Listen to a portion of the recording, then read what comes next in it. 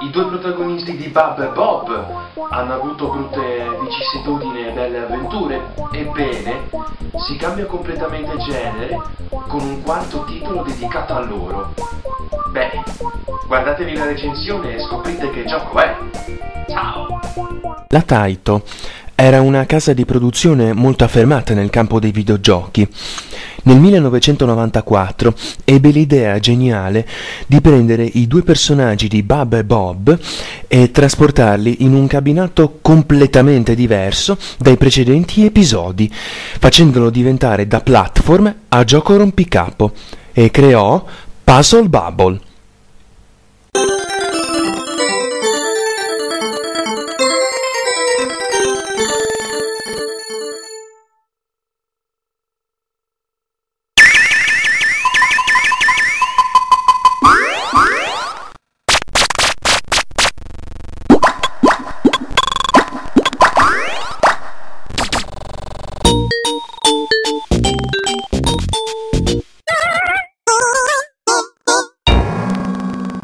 Questo gioco non ha una trama. Infatti, una trama qui non ha alcun senso. Praticamente abbiamo un motore grafico proprio perfezionato che è preso da The Story of Bubble Bubble 3 ed è stato migliorato. Abbiamo tantissimi colori a schermo e bellissimi effetti di ombri e luce. Insomma, è stato fatto proprio un ottimo lavoro. Una bella no- novità che hanno introdotto in questo gioco sono le animazioni in stile giapponese. Ad esempio, quando ad esempio uno dei nostri personaggi guida il cannone, e è una cosa che fa diventare il gioco molto carino per ogni età.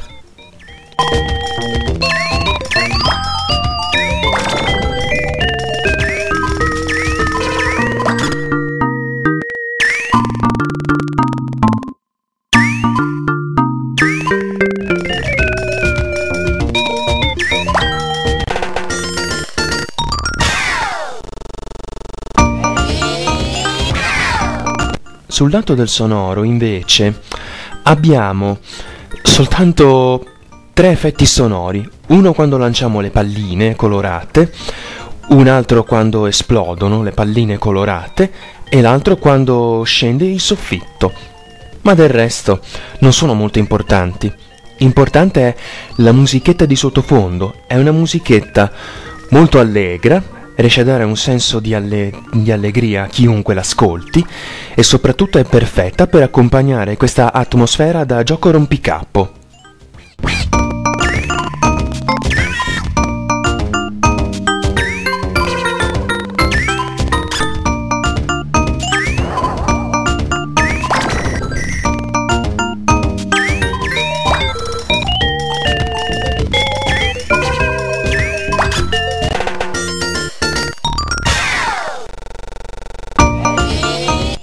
Sul lato della giocabilità, Puzzle Bubble è ambientato in un'area di gioco rettangolare verticale in cui ci sono posizionate delle biglie di vari, vari colori e il nostro compito è con il nostro cannone alla base di lanciare una palla colorata verso di esse, formarne almeno tre insieme in un'unica fila e farle esplodere, perché se non le buttiamo giù il piano scende e perdiamo la partita.